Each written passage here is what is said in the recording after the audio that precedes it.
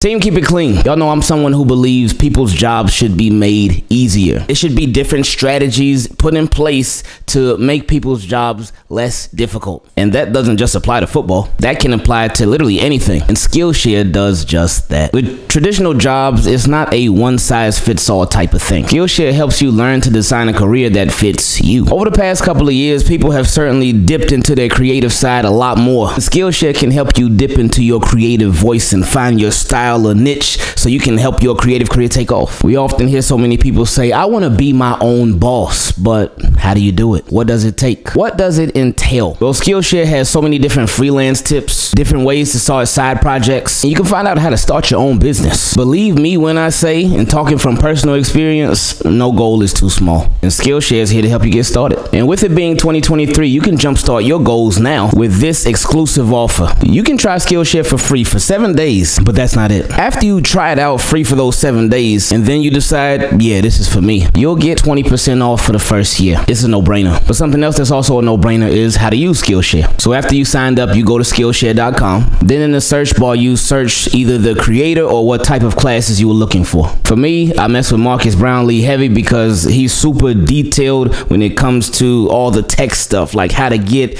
uh, your videos that much clearer and brighter and have your colors popping and all that. That's for me. But of course, you can search for what's for you. And the thing with Skillshare's classes is they are very, very detailed. They give you the step-by-step process in order. So if you follow along, you'll be good to go. So if you're really serious about getting things started, then again, you can try Skillshare for free for seven days. Uh, and then after that, once you sign up, you'll get 20% off for the whole year. Make it easier. Yeah.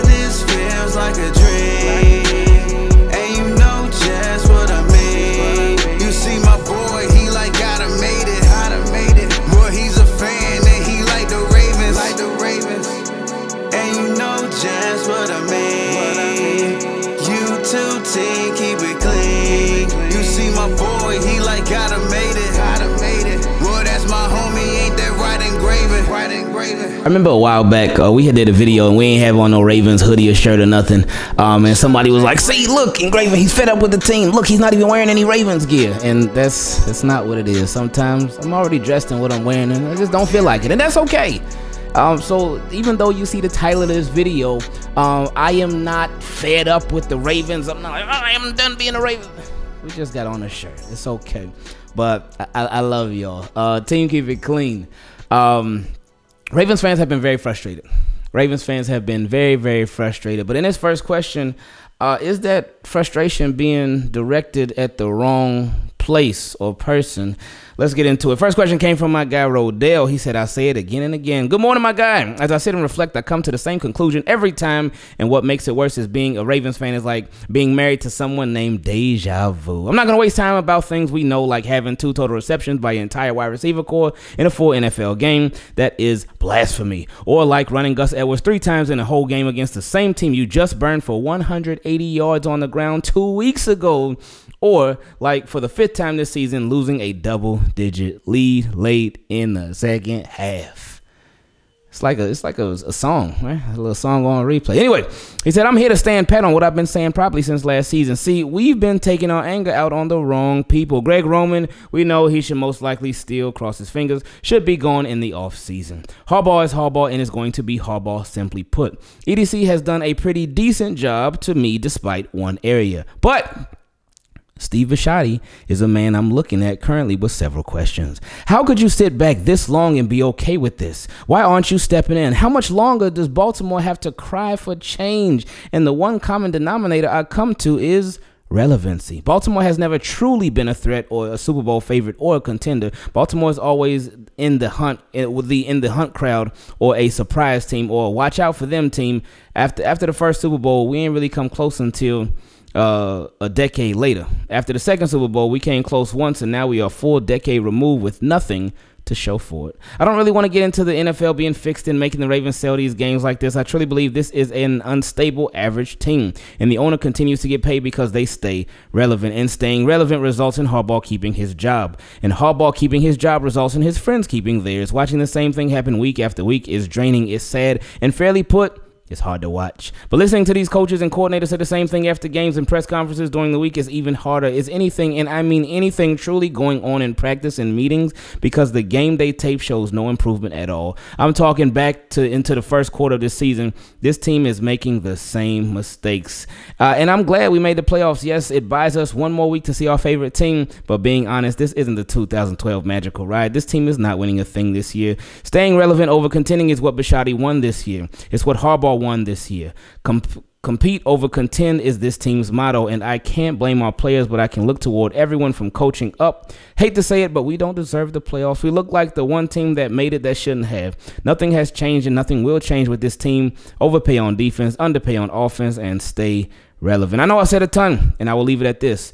After all of our cries, the national media's cries, and after everyone else, if we go out and truly revamp this wide receiver core this offseason, I'm talking remove Giro. Uh, I'm talking a trade for a top 10 wide receiver, draft a top five wide receiver out the draft, and let Bateman come back fully healthy. If all that happens, then we finally take off as a full unit, as a full team, it will leave us wondering, wow, what could have been? Woo! that's a powerful way to get us started. Um, and he certainly spoke so many facts there. Um, Steve Bisciotti in and uh, on Marlon Humphrey, his show, I think what is it called? Episode 44, Studio 44, whatever it's called, where he was interviewing everybody. Um, he interviewed Steve Bisciotti, and Steve Bisciotti was talking about uh, how a lot of other teams they have turnover and whatnot, especially at head coach and whatnot. But he doesn't like that because uh, that's not consistency. And he talked about he said something like I'm paraphrasing, but he said something like consistency is great. He said consistency is great, and, and what he said he was like you don't have to be great, but if as long as you're consistent, that is great. He said something that was super, super, super close to that. But basically, I mean, everything that you're saying, Ravens being relevant. That's good enough for him. Reason being, again, owners don't think like fans. And we got to realize that and accept it. Owners do not think like fans. We as fans, we want our team to go all out. We want our team to compete. We want our team to win. And owners are cool with winning, of course. But owners' biggest thing is, hey, long as my pockets stay getting fatter, I'm good. I'm good to go. Football, NFL is a business. I'm an owner in this business, this very uh, profitable business. I'm rich already. I'm trying to get even richer. Oh, my oh my team is they they they be in the hunt a lot. They in the thick of things a lot. They getting a lot of attention. Oh yeah, I'm good. We good. And when it comes, that's why the Ravens have stayed competitive for so long. And, and they, they, you keep seeing these same strategies over and over and over and over and over. And a lot of us are wondering why. Like, man, why won't they change stuff? Because they, they are competitive, like you mentioned. They always in the thick of things. They always like their names are always buzzing and whatnot. So the owner's making money. He's making money.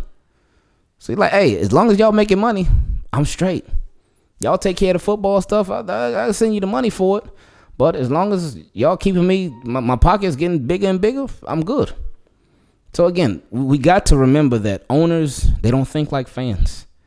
They're not fans. Well, some of them might be, but they don't think like fans. We we want our team to really try their hardest. We want our team to go all in every single year. We want our team to fight.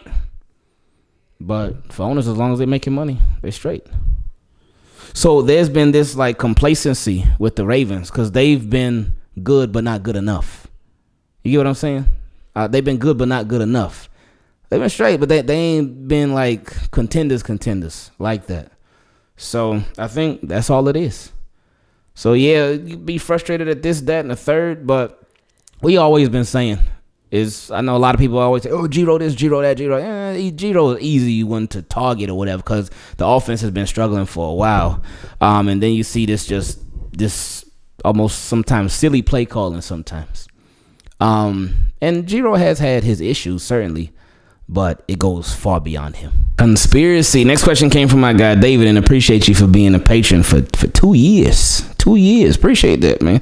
He said, Ingraven, what's good, bro? Hopefully you and the family. Team Keep It Clean fam also had a wonderful season. It's been a while since I sent in a question, but please allow me to unleash my inner conspiracy theorist. This season, I believe we all have been paying particularly close attention to the Ravens offense. We've seen an offense on fire for the first few weeks, and recently an offense that has zero situational awareness, play calling that lacks consistency and or reasoning, uh, playing players out of position, wide receiver one, Project Fat. I appreciate that. And let's not forget the third down plays where the opposing defense dropped seven into coverage and we respond by sending a wide receiver on a go route, triple covered, a tight end on a curl route, uh, or a comeback three yards short of the first down marker and double covered, and a running back to the flat six yards short of the first. My question is, oof, that that that is it like funny to read that, but it also hurt inside.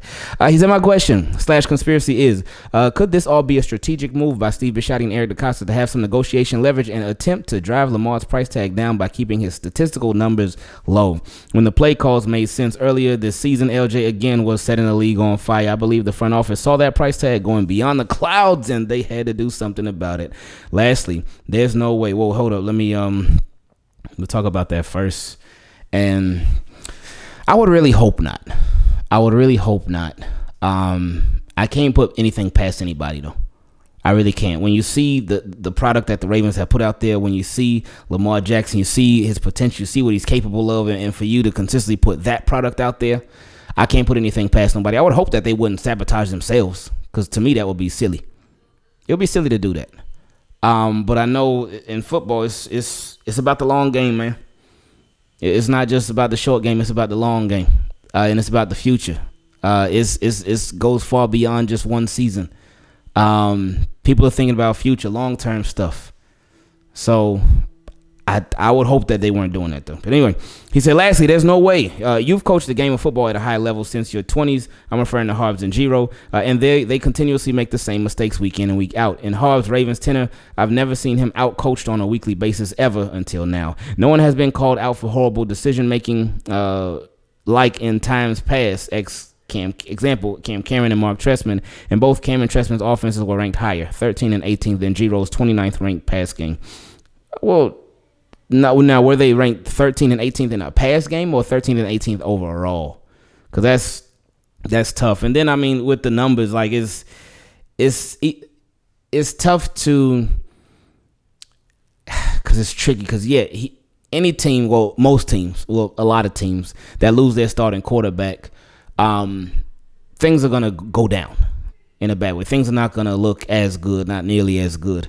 Um, but then that's where coaching, like when you lose a player, somebody gets hurt, somebody's absent, then that makes you step up your game that much more because you got to compensate. You got to compensate. But we've been seeing, we haven't been seeing that stepping up. But anyway, um, he said, uh, to me, this just seems very, very intentional. My apologies for the super long question, but I'm hoping LJ is not. oh, but I'm hoping like LJ is not for the playoffs. I'm out. Mm. Mm, mm, mm. Um, yeah, like I said, I, I, would hope that that wouldn't be the case. I, I, I really would hope that that wouldn't be the case because I know you, you don't want to pay him a bunch of money. We know you don't.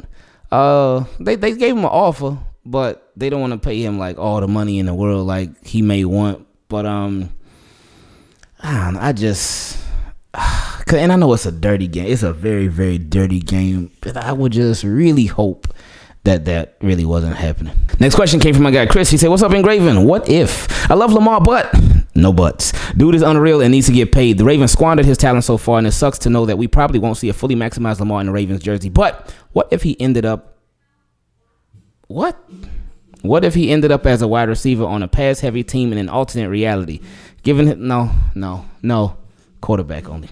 Given his speed, athletic talent, and ability to embarrass defenders in open space, do you think he would be a dominant receiver in NFL? To be clear, I'm not suggesting that he should be. Lamar is a QB. He's the best offensive player on the field and should have the ball in his hands every play. Obviously, it won't happen, so this is just a wildly speculative what if question from someone sitting at the end of the bar. Thanks for everything you do for us fans. Yeah, and us fans, because we all fans of the game of football. Um, I think he could if he wanted to, but that's like yeah, we no, no. Quarterback and quarterback only. And the last question on this quick episode of questions from subscribers came from Tayshawn. He said, Is the incoming offseason already set? What's up, Ingraven? It's been a while since I did one of these questions, but I hope it finds you well. I've been increasingly suspicious of this Lamar situation throughout the season, but it isn't until now that I'm thinking that he really may have already played his final snap as a Raven. I feel as if the sneaky Ravens could have already agreed to a hush deal with Lamar and another team to tag and trade him in the offseason, which may be why he we may net, not ever see Lamar in the playoffs. Possibly part of this assumed deal is that he is preserved for his new team. I never thought about that in his business, So it's possible because you you can't like sit up here and really think that these teams. Oh well, we're gonna wait till the negotiating window to, to make a trade, or we're gonna wait till it's cleared by the NFL for us to talk to these. No, no, these teams they're dirty. They do dirty business. It happens all the time. We know that. So I, I can't sit up here and say what you're saying is, is far fetched. Mm, mm, mm. That would make it hurt that much more. But it could could make it make sense. But anyway, we'll see how it goes. He said Lamar might love the organization, but he sees, like we all do, that their mindset, philosophies, coaching staff issues, etc. This team is headed nowhere fast. That on top of the fact that the Ravens have made it clear that they don't intend on making the necessary moves to build around him, including paying him what he deserves, I think he's making a wise decision to go to a team more than willing to compensate him and build around him so that he can finally reach his true prime and give his best years to a team that is actually trying to win Super Bowls like he is. I've been a Ravens fan most of my life, but they made me feel like they don't care about winning, just making sure they're somewhat relevant so they make profit. Hey, we were just talking about that earlier. Uh, all of our talent seems to leave because they don't they see they're being held back. Uh, do you think it's possible that Lamar and front office came to another silent agreement to trade him away when they get the chance, like they did Hollywood? I mean, it seems like this whole season, even through their own media, they've been trying to groom fans and get them ready, like for life on the Ravens without Lamar. You said it, baby. That's it. They, you've seen so many outlets. You've seen people who are close with the team and putting out all these different articles. As a matter of fact, one just came out Today is the fifth. One just came out yesterday. Another one just came out yesterday, prepping people for life without Lamar. It, coincidence? Mm, we'll see. He said, hopefully I wasn't too all over the place and this question wasn't too long. Uh, I appreciate the content. You keep us all in the loop with what's going on with these Ravens and act as a, uh, a mediator slash slash therapist at the same time. But like Lamar Jackson very well could be uh, when it comes to being a Raven real soon, I'm out and going wherever LJ goes. I like that ending, man. Um, but yeah, you spot on. A lot of stuff is is what it seems, and it's like they uh, a lot of these. Uh, it's like they're trying to subconsciously let Ravens fans know, subconsciously prepare Ravens fans' minds for what could be. Yeah,